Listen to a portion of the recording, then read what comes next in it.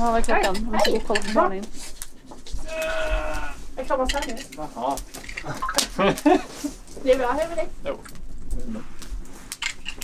Jag delade upp allting, men jag jag såg sen att jag delade upp det på Det är sju. ingenting som stänger här uppe. Vi får ju Adrians Hur många är det? Tio på morgonen då. Nästa dag? Mm. Har du redan haft nyår om det? Ja, jag frågar. Jo. Är hon där? Ja, det tar. Noll, noll, noll, noll, noll. Skål! Gott nytt år! Nej, jag vet inte heller. Gjorde vi det? Garanterat. Ja, det är Vad har du skrivit till Kristoffer då? Gott nytt Typ. Vad för någonting?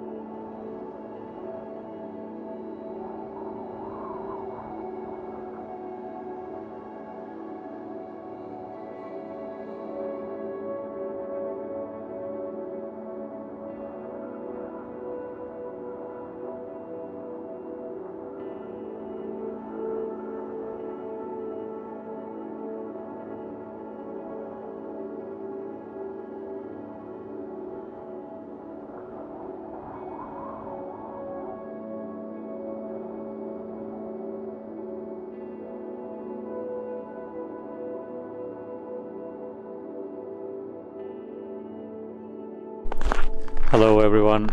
It has been snowing a lot here during the holidays. Tova's family were here celebrating New Year's Eve with us and uh, about 20 minutes into the new year we heard a crash and it seems like the snow got the better of this spruce tree here and it is now blocking our path to the hay barn. So we need to do something about it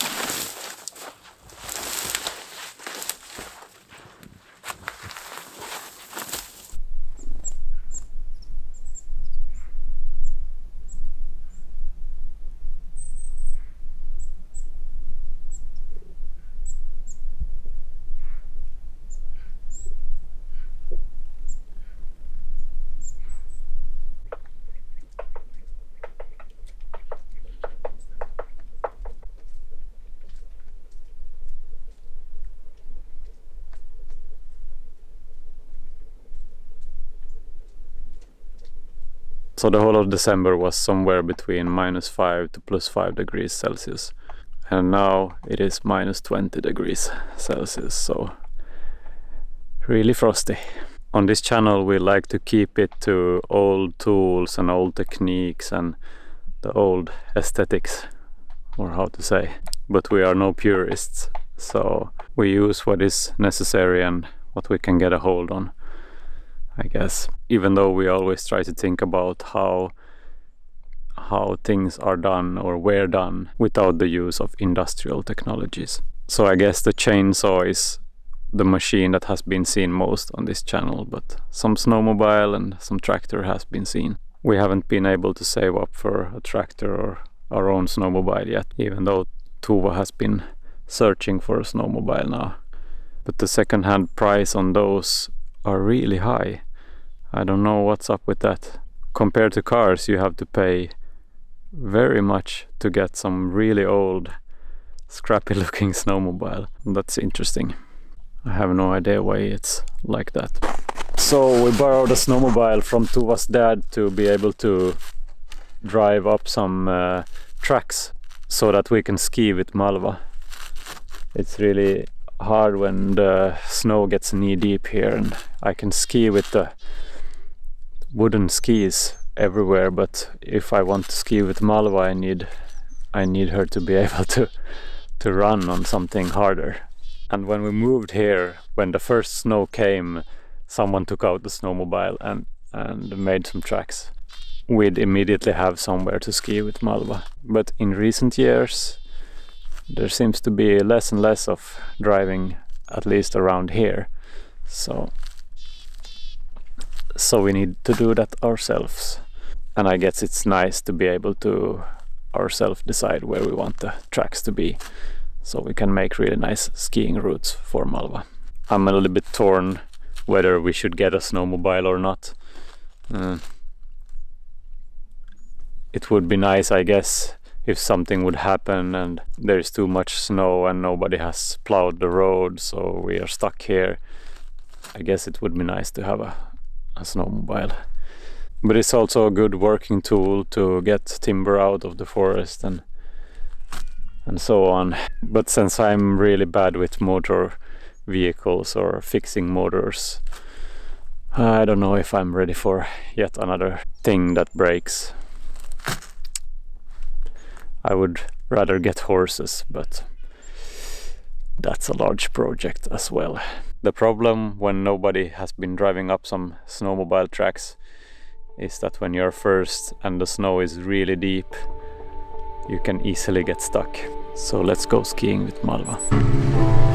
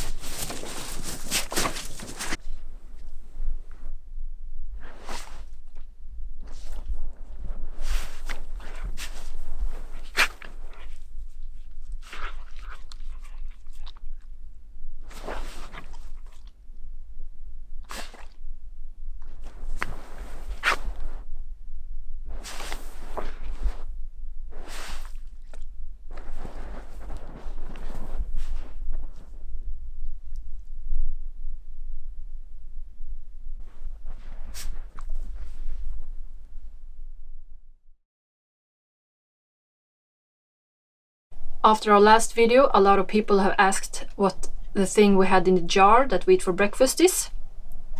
So I thought I would explain that a little more. In Sweden it's called filmjölk and it's simply fermented milk. Filmjölk has a very nice sour taste. The kind of filmjölk that we have here is called långfil and it has a very nice stretchy consistency. I have written a text about filmjölk and we are going to put it on our English blog on our website. So if you want to know more of it, you can go and read some. And now I'm gonna show you how we do when we have eaten it all, almost all. We have these four liter jars and now this was full and we have eaten down to here and we always save about four deciliters maybe in the bottom. Ouch. feisty. It's fermented so it's very much alive.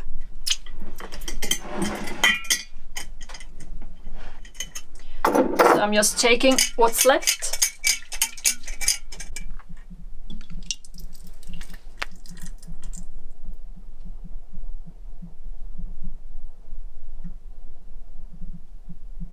Last night we fetched some fresh milk from the farmer so it's raw and nice and uh, not destroyed in any way.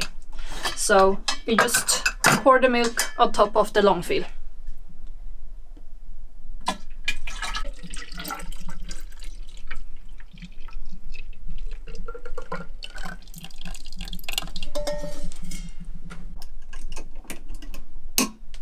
Shake it a little bit so it spreads around and just leave it on the counter for 12 to 24 hours. It depends on what temperature you have inside and what temperature the milk has and how alive the bacteria is. So tomorrow, this time, we will have new långfil that we can eat. And next time it's almost finished, we do the same again. So it's a never-ending circle. But as I said, if you want to know more about it, I have written a lengthy blog post on our website, so I guess it can be interesting to know a little bit more of it.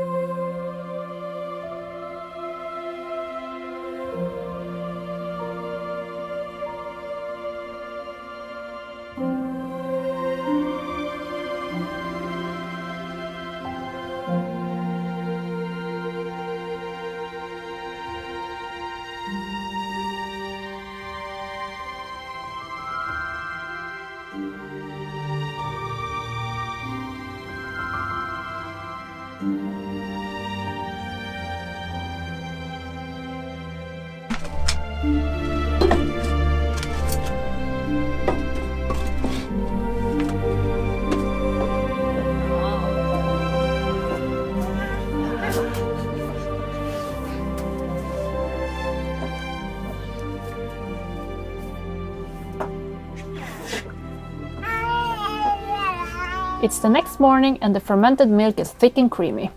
Its taste is sour because the bacteria has eaten most of the lactose. We eat it with some raw egg yolk and blueberries that we picked in the summer right outside this cabin. After this, we put the jar somewhere cold and it will keep for a week or so, but we eat it all up in a couple of days. We also make kefir that are made with the typical kefir grains. The kefir has a very different bacterial culture and is even more sour. Our kefir certainly looks like it has been influenced by the långfil.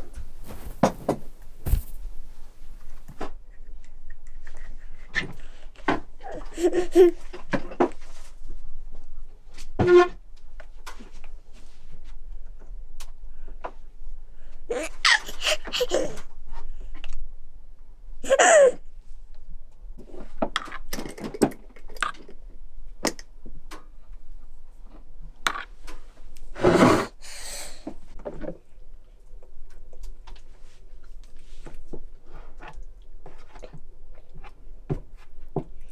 Hadi.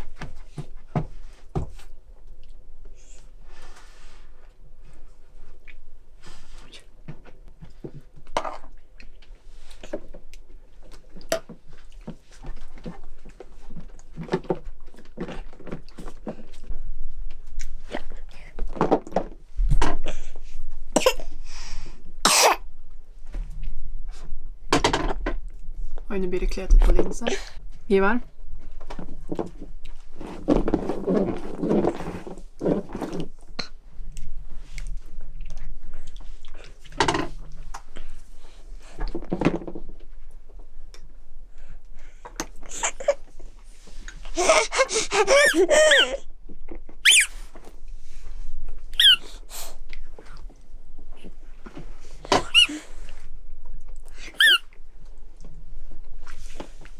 På linsen. Ivar?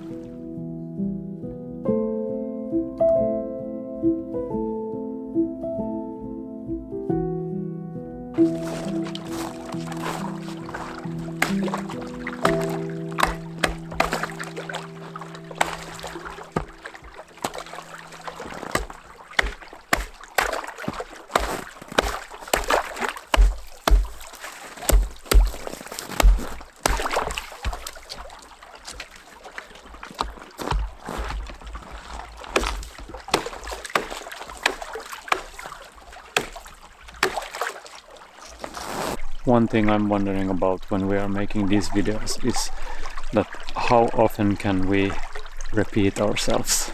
We have made a lot of episodes and our daily life here is more or less the same.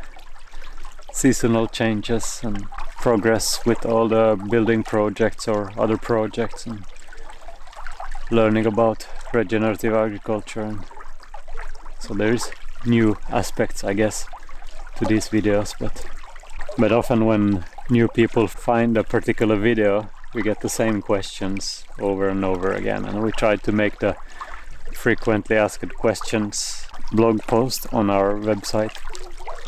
We should probably link that in every video I guess. But I don't know. What do you think you who have followed our journey since the first couple of videos? Or you who have binge watched binge watched binge binge binge watched. Binge. For you who have binge watched every video we have made we get some comments that there are a lot of you who have started from the beginning of our journey and watched our first episodes. That's always nice to hear. I guess then you will have seen how the video making process have evolved over the years. We have learned a lot and and we have lots to learn yet. Why I was thinking about this now is because when I was here and poked away some of the ice, I was thinking to myself that should I tell the story of, of how we need to remove the ice when it's below minus 20 degrees and how it grows and covers our place where we get water. So we every day need to poke away some of it so it doesn't seal up en entirely. I have put some stones here and made a place where the moving water is moving along more swiftly than on the other places here. So that helps a lot to not get this place frozen up.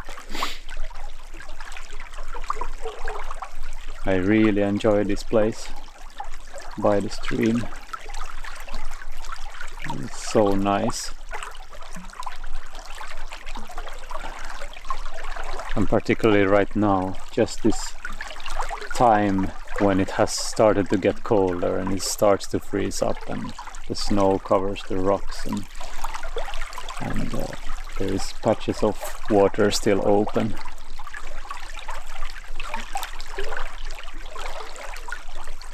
The beauty is undescribable.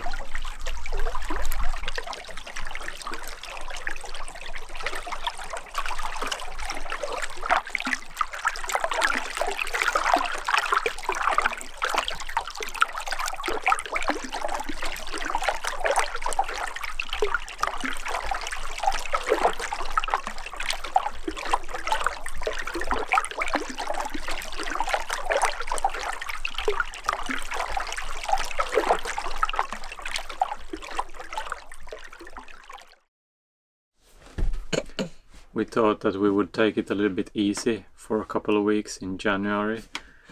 Yeah. Uh, it went not so well, I guess.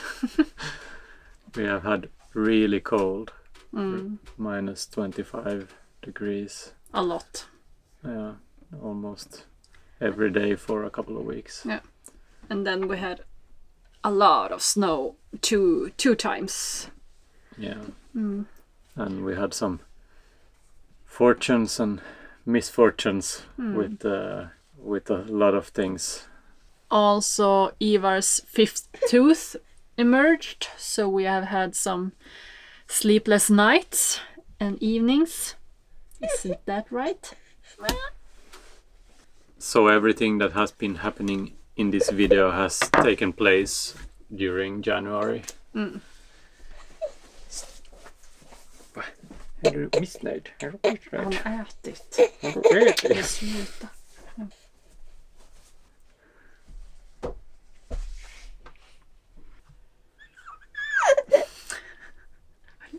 Piss, piss, piss.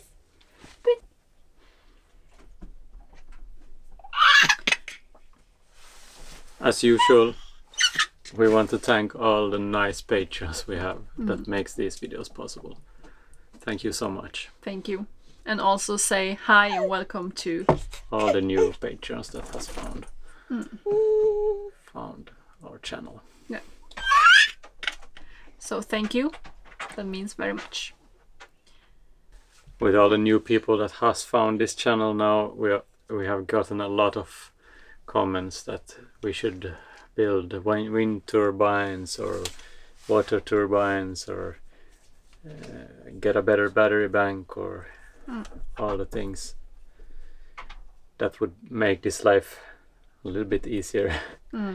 but um, we are very interested in all those things. But but these things takes a while for us because we need to save up money for all these projects and also we don't have time uh, uh, researching and, and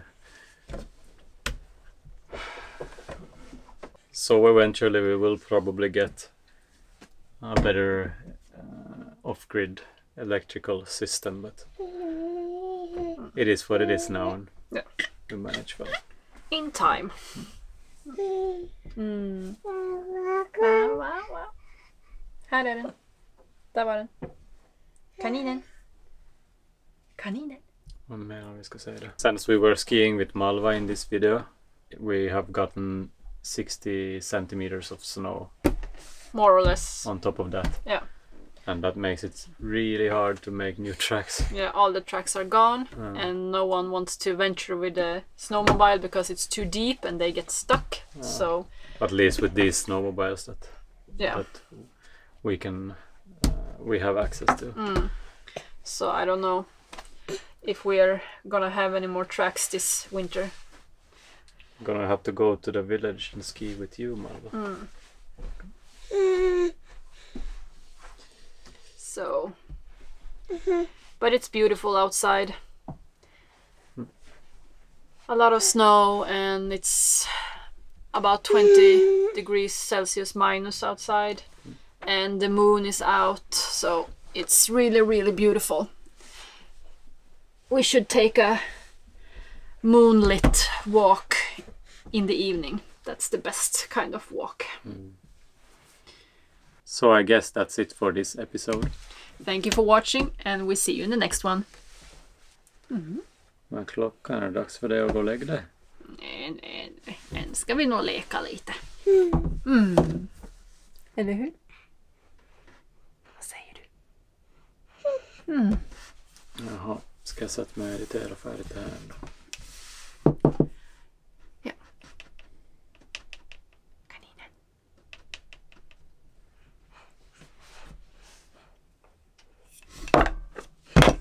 Okej. Hej då. Hej då.